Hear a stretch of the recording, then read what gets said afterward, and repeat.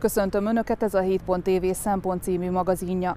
Munkához látott Békés Csaba új képviselőtestülete, vagyis az októberi önkormányzati választások óta most először ülésezett úgy a grémium, hogy érdemben is döntéseket tudott hozni a város ügyeivel kapcsolatban. Szó volt például a helyi tömegközlekedésről, a város zöldítéséről és arról, hogy megkezdődhet több beruházás is a városban hogy miként vélekednek a politikai szereplők ezekről a kérdésekről. Ezekről továbbra is megkérdezzük a pártok képviselőinek és a városvezetés véleményét. Elsőként Békés Csaba polgármestere Szarvas Péter beszélt a döntésekről. Sok éve várt beruházás indulhat el hamarosan Békés Csabán. A Modern Városok program forrásából megújul a városi sportcsarnok. A városi sportcsarnok lényegében 30 öt év után egy jelentős felújításon fog átesni a idei év végétől kezdődően, jövő évi kivitelezési záróidőpont van, és nem volt nem egyszerű a felkészülés, ugye munkaterület átadás ennél a fejlesztésnél, ugye Modern Város programról van szó, a kormányzata pótlólagos költségvetési támogatást is megítélte a projekt számára, ez is egy fontos döntés volt az elmúlt időszakban. Napirendre került a tömegközlekedés. A grémium korábban vizsgálni kezdte, hogy az önkormányzatnak érdemes lenne saját buszos társaságot indítania, amely a helyi járatos buszközlekedést működtetné. Hosszú távon az lett volna a cél, hogy a város spóroljon, ám kiderült, hogy egy ilyen társaság elindítása akár több mint egy milliárd forintba is kerülhet. Készült egy üzleti áttekintés, a rendelkezésünkre álló tapasztalatokat kiértékeltük, és ez alapján a közgyűlés úgy döntött, hogy jelenleg nem adottak a feltételek, hogy takarékosan működő és nyugodt körülményekkel létrehozható céget alapítani tudjunk. Egy másik napi rend is érintette a buszközlekedést. Az önkormányzat évközben pályázatot írt ki, melyben a következő öt évre keresett szolgáltatót a buszközlekedés működtetésére. Ám csak egyetlen pályázó volt a Volánbusz ZRT, amelybe idén októberben olvad be a korábban szolgáltató Délalföldi Közlekedési Központ. A társaság mintegy 500 millió forintot kért a feladatellátásért, az önkormányzat ennek az összegnek eddig csak felét fizette.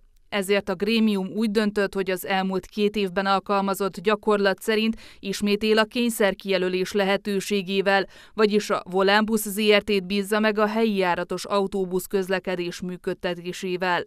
Ez a kijelölés most azt jelenti, hogy január 1-től 2021. december 31-ig két évre várhatóan a Volánbusz ZRT fogja végezni a város helyi buszközlekedését.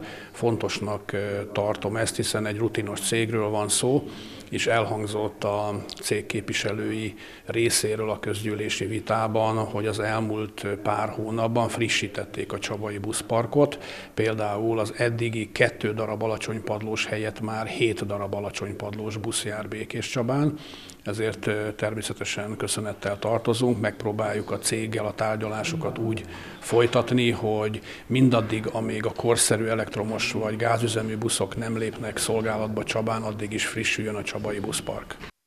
A Szabolcs utcai kerékpárfejlesztés miatt 49 fát kell majd kivágni a közterületekről, összesen 60 fa visszaültetését vállalta az önkormányzat, ezzel szemben a polgármester azt ígérte, hogy 100 növényt ültetnek majd el az érintett szakaszon. Emellett Szarvas Péter a közgyűlési döntések értékelésekor kitért a napelemes rendszer kiépítésére a sportcsarnok mellett a környezet, a városi sportcsarnok környezete, a város tulajdonában lévő telkeken fogjuk a napelemes rendszert és a tároló rendszert megépíteni, sőt még egy ilyen látogatóközpont is lesz, ahol diákoknak, érdeklődő felnőtteknek meg tudják majd mutatni szakemberek, hogy hogyan is működik ez a Európában is nyugodtan lehet mondani egyedülálló rendszer. Legyünk büszkék erre, hogy Békés Csaba élen jár ebben a ebben a témakörben, és remélem, hogy sikeres fejlesztés lesz. A célja a fejlesztésnek az, hogy a város villamos energiafogyasztását csökkentsük, Hamarosan olyan fejlesztés indulhat el a városban, amely egy közösségi kerékpáros rendszert érint. Az önkormányzat egy pályázat segítségével összesen 50 olyan biciklit vásárol majd, amelyeket a budapesti bubihoz hasonlóan bárki kikölcsönözhet Békés Csaba 5 pontján kialakított tárolókból öt olyan állomáshely kialakítása, amelyben egy közösségi kerékpáros rendszer 10-10 összesen 50 kerékpárja kerül majd elhelyezésre. Ezek 15 állomáshelyes, jó meghatározott, jó logisztikai elv mentén kitalált állomáshelyek, amelyek érintik a település részeket. Jaminát a Madács utcai iskola környékén, a Lencsési lakótelepet a Pietro étterem környékén, és tulajdonképpen egy vonalat lehet húzni a vasútállomástól az U alakú Andrási úti szakaszának érintésével a, a városi sportcsarnokig, tehát ez az öt állomáshely fogja szolgálni ezt az 50 kerékpárt. Az önkormányzat a jelenlegi költségvetési helyzetben nem tud közel 500 millió forintot áldozni a buszközlekedésre, fogalmazott a Fidesz-KDNP frakció vezetője a közgyűlést követően. Opauszki Zoltán ezzel indokolta azt a döntést, hogy a közgyűlés a Volánbusz ZRT-t jelölte ki a helyi járatos buszközlekedés működtetésére. Idén 224 millió forint volt beállítva tömegközlekedésre, én most szeretném kérdezni, nem mindegy, hogy hányszor rendelhetjük el két évre, hiszen az elrendelésnél nem feltétlenül kötelezhetjük új gépjárművek beszerzésére csak egy adott év állomány, azt hiszem 11 év volt a legutóbbi meghatározás szerint betartására, és ezáltal maradhatnak korszerűtlenebb buszok, bár attól olcsóbb lesz az üzemeltetés, mintha új buszok lennének. A korábbinál drágában vállalta volna a Volánbusz ZRT a helyi járatos buszközlekedés működtetését. A társaság a költségnövekedéssel együtt garantálta volna a buszflotta fiatalítását, ám a grémium végül úgy döntött, hogy a közel duplájára nőtt költségeket nem fizeti ki, így élve egy jogi lehetőséggel kijelöli a szolgáltatót a feladat ellátásra. Önkormányzat jelenlegi költségvetési helyzetében úgy gondoljuk, a közgyűlés, ha tetszik, egyhangú döntéssel formált véleményt abban a tekintetben, hogy ennyit nem tudunk áldozni erre a szolgáltatásra. Ezért jön ismételten ez a, ez a metódus, hogy egyrészt akkor ezt az ajánlatot érvénytelennek, vagy az eljárást eredménytelennek nyilvánította a közgyűlés, és a jogszabályi felhatalmazás alapján a Valambus ZRT-t kijelöli az önkormányzat a következő két év közösségi közlekedési szolgáltatójává. A másik buszközlekedést érintő kérdésben a Fidesz-KDNP frakció is egyetértett a többséggel, vagyis a képviselőcsoport tagjai is látnak kockázatot abban, ha az önkormányzat most saját buszos társaságot alapítana. Veszprém hasonló nagyságú város, mint Békés Csaba, a közösségi közlekedésre fordított önkormányzati forrás az mm, hasonló volumenű, mint Békés Csabán. Ugye azt tudjuk, hogy esetünkben a 2019. évi önkormányzati ráfordítás az 250 millió forint magasságában fog megállni. Most Veszprémben elindultak a saját útjukon, létrehoztak egy saját önkormányzati céget, és hát most ott tartanak Veszprém barátaink, hogy a, már az idei év vonatkozásában összességében egy másfél milliárd forint ö, ráfordítást igényel ennek az egész rendszernek a működtetése, úgyhogy buszsofőröket találni roppan nehéz feladat, a járművek beszerzése sokba kerül, tehát, tehát nagyon, nagyon költséges játék. A frakció emellett üdvözölte a Békés Csaba zöldítésére törekvő fejlesztéseket. Csak a mai közgyűlésünk egy üzenetére szeretném felhívni a figyelmet, hogy fát ültetünk, hogy, hogy napelemmel foglalkozunk, hogy napkollektorokkal, geotermikus fűtéssel, kerékpárokkal.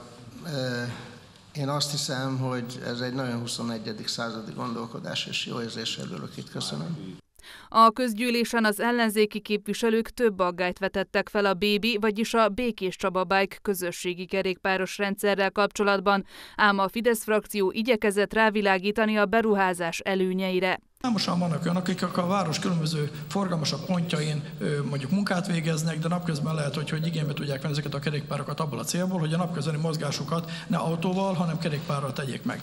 Ezen túl talán érdemes arra is figyelemmel lennünk, hogy Ugye Békés Csabán jelenleg is számos olyan nagy volumenű beruházás van folyamatban, vagy előkészítés alatt, amely a turisztikai ágazatot érinti, és én azt gondolom, hogy, hogy ebből a szempontból is egy fontos elem, a város vonzereje szempontjából fontos elem, hogy a, a ide látogató turisták kerékpárokat igénybe tudjanak venni nem csak a szálláshelyeken, hanem a város különböző közforgalmú pontjain is. Tehát én azt gondolom, hogy, hogy mindezeket a körülményeket, ha együttesen vizsgáljuk és mérlegeljük, akkor ennek a szaldója inkább pozitív, mint negatív. A frakció szintén üdvözölte a sportcsarnok felújítására vonatkozó törekvést. Ez teljes átalakítást jelent valójában, ami érinti a küzdőteret, amit a, amit a szurkolók és a sportcsarnokban látogatók többsége használ, de természetesen a sportszállás helyek vonatkozásában, illetve az egyéb kiszolgáló helységek vonatkozásában is megújulás várható. Ha a nagyobbik részét nézzük a feladatnak, akkor megtörténik a küzdőtérnek, a padozatának a teljes cseréje, tehát új sportparketta kerül majd elhelyezésre, megújul a világításnak a rendszere, a hangosításnak a rendszere, új lelát, a lelátóra új ülőhelyek kerülnek majd kialakításra, tehát rendkívül korszerű és igényes körülmények várhatóak a kivitelezést követően. A Csabán közlekedő buszpark előregedett, és ennek fiatalításán továbbra is dolgozni kellene, jelezték az MSZP önkormányzati képviselői. A szocialisták egyúttal üdvözölték a város zöldítésére vonatkozó törekvéseket, de több észrevételt is megfogalmaztak. Az MSZP képviselői is kockázatosnak tartják a saját busztársaság alapítását, erre példát is hoztak a közgyűlésen hogy Veszprém városa önálló közlekedési vállalatot alapított. Ugye korábban 280 millió forintból oldották meg a tömegközlekedésnek a finanszírozását külső szolgáltató igénybevételével, most 1 milliárd 300 millió forintnál járnak a költségek. Ugye maguk is elmondták, hogy rengeteg olyan költség merült föl menet közben, amivel előzetesen nem kalkuláltak, vagy nem tudtak kalkulálni. Autóbuszok szervizelésétől kezdve a megfelelő személyzet biztosítására át, ugye nem csak az autóbuszvezetők, hanem a, a háttérszemélyzet, a szervizcsapat, az, a buszok szervizelése szervizelésének az ütemezése, tehát számtalan olyan buktatóval járt esetükben ennek a közlekedési cégnek a megalapítása, ami ugye már 1 milliárd 300 millió forintra e, rúgta föl ennek a költségeit, ugye a korábbi 280 millió forint fejett. Én azt gondolom, hogy ez egy rendkívül intő példa lehet Békésebb és a többi megyei jogú város számára is. A szocialista képviselők szerint nincs minden rendben a helyi tömegközlekedéssel. Miklós Attila rámutatott például arra, hogy jelenleg nincs klímás busz, és mindössze hat alacsony padlójú jármű járja Békés Csaba utcáit, illetve a koros gépjárművekből áll össze a szolgálatot teljesítő géppark. Nem tudom, hogy ki mennyire tudja, hogy milyen járműparkkal járnak ma ö, a buszok, milyen, van-e egyáltalán alacsony padlós buszunk, és az mennyi van, és milyen az a szolgáltatás színvonal, amit a békés csabaiak igénybe vesznek. Ebben előrelépést kell elérni, és ha ez az kell, hogy önálló társaságot alapítsunk, akkor ez, én is látom a számokat, nyilvánvalóan nem kell önállót ö, ö, alaki, alapítanunk, ö, viszont, hogy a szolgáltatás színvonalát emeljük, az meg kötelességünk. Lehet, hogy ez járat járatszám csökkenéssel fog járni. Lehet, hogy egyébként más útvonalakon kell közlekedtetni buszokat, de ennek a felülvizsgálatát is el kell végezni, és meg kell teremtenünk azt, hogy minőségi tömegközlekedés legyen Békés Csabán ma, mert ez nem mondható el most. Hamarosan indul a sportcsarnok felújítása, amelyet Fülöp Csaba örömtelinek nevezett.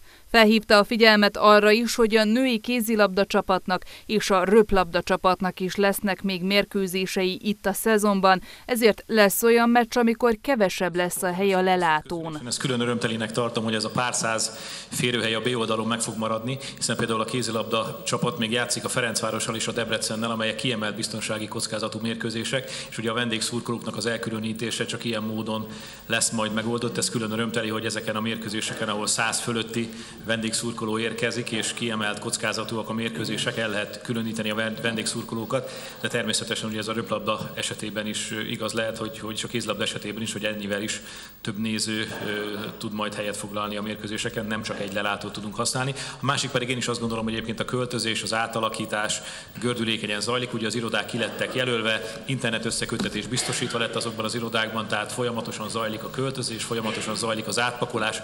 Az ülésen még a Nósév november mozgalom miatt bajuszt viselő Miklós Attila a közösségi kerékpáros közlekedés miatt is kifejtette aggájait. Hangsúlyozta, hogy szerintük is szükség van az 50 darabos, vandálbiztos, elektromos rásegítésű kerékpárok üzembe helyezésére, de valójában a használatba vétel utáni időszakban derülnek ki a mostani döntések létjogosultságai, például az, hogy az öt kölcsönző állomást jó helyre tervezték el ki fogja ezt a rendszert üzemeltetni, mert hogy lesz 50 darab biciklink, meg mindenhol lesz 15 állomás, és eldöntjük, hogy hol, az teljesen jó, de ezt azért ennek a bicikliknek oda kell jutniuk, ezt karban kell tartani, ki fogja ezt üzemeltetni. A szocialista képviselő kitért a Modern Városok programban hamarosan elinduló beruházásokra is.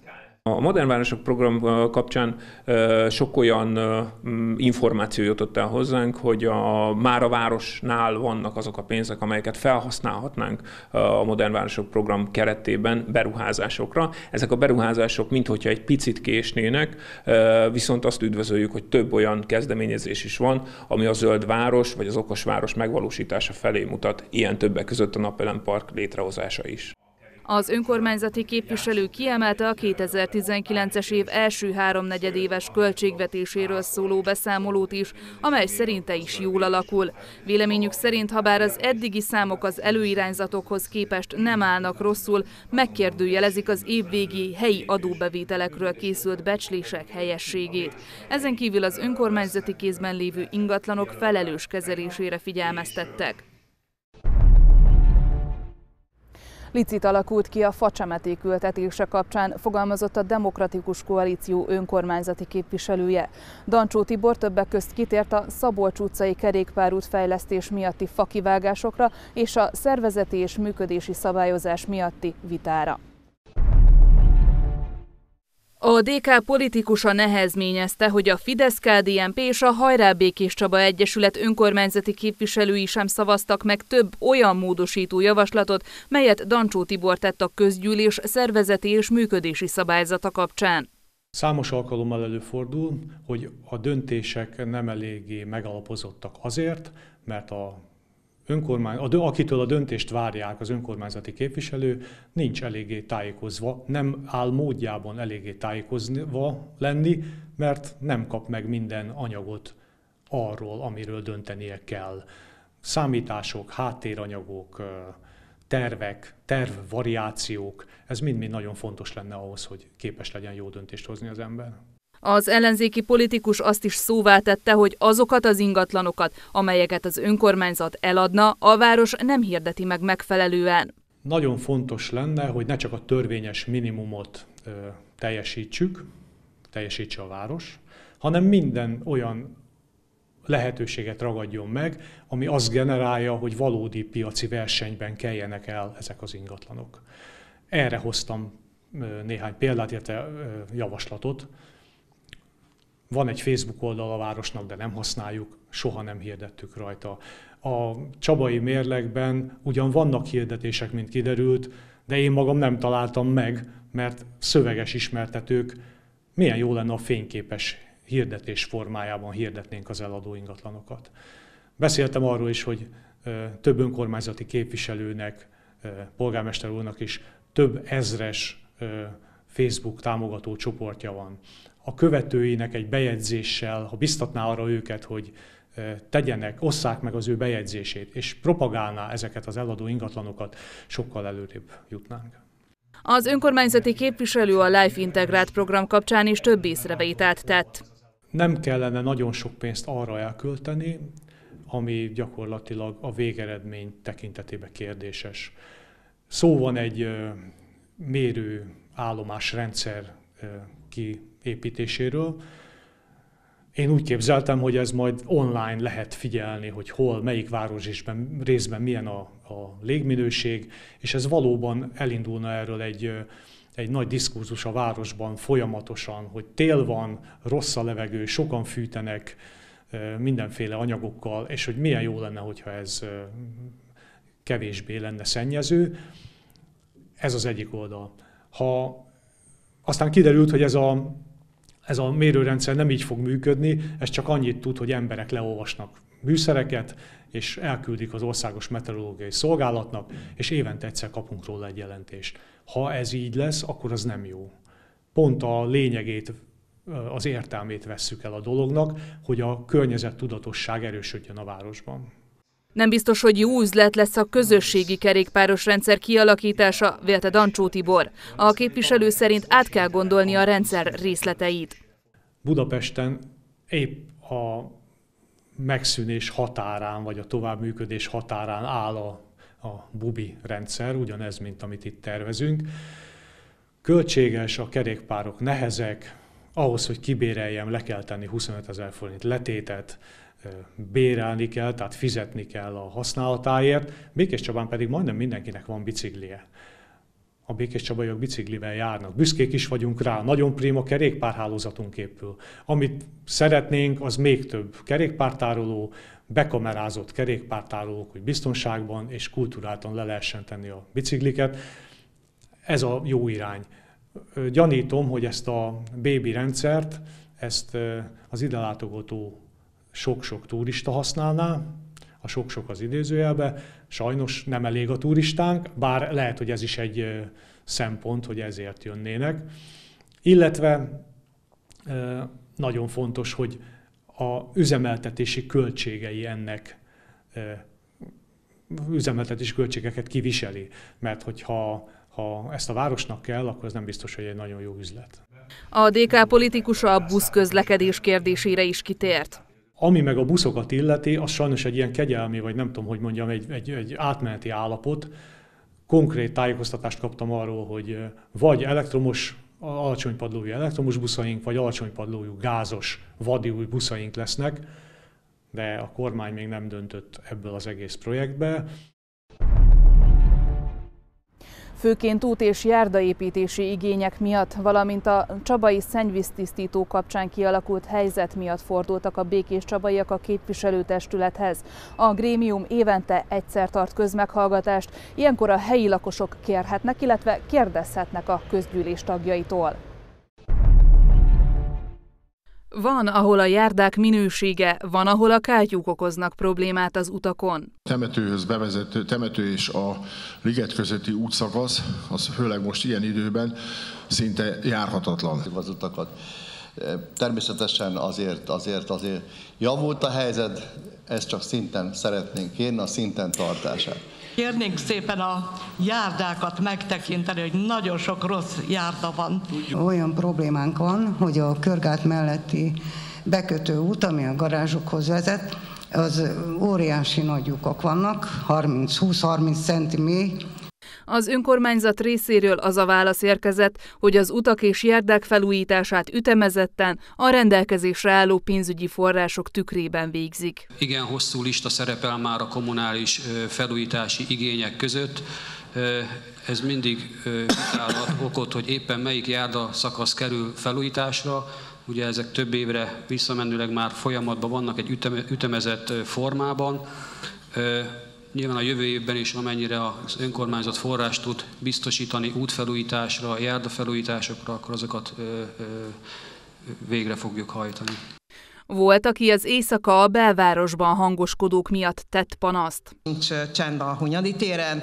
A nyáron tetszett nekem pár évvel ezelőtt írni a, egy kétoldalas paragrafusokkal teli válaszlevelet, de hát én ettől nem lettem boldog, és csend se lett. Mint kiderült, az eset nem egyedülálló, ám nem önkormányzati hatáskör. Amikor az úgynevezett vendégzaj, ami a közterületen valósul meg, az rendőrségi csendháborítási hatáskör. Ismét többen érkeztek a szennyvíztisztító kapcsán kialakult helyzet miatt. A szennyvíztelep védőtávolságán belül lévő tanyák ügyéhez kapcsolódnék. A rendszeresen visszatérő szakhatás miatt már évek óta nem lehetne lakott ingatlan. Az önkormányzat öt éve tartja bizonytalanságban az érintett családokat, nem tudják, hogy maradhatnak-e, vagy el kell költözniük. Egy börtönben tudja az ember, hány évet kell kibírnia, de a mi helyzetünkben ez sajnos nem adatott meg.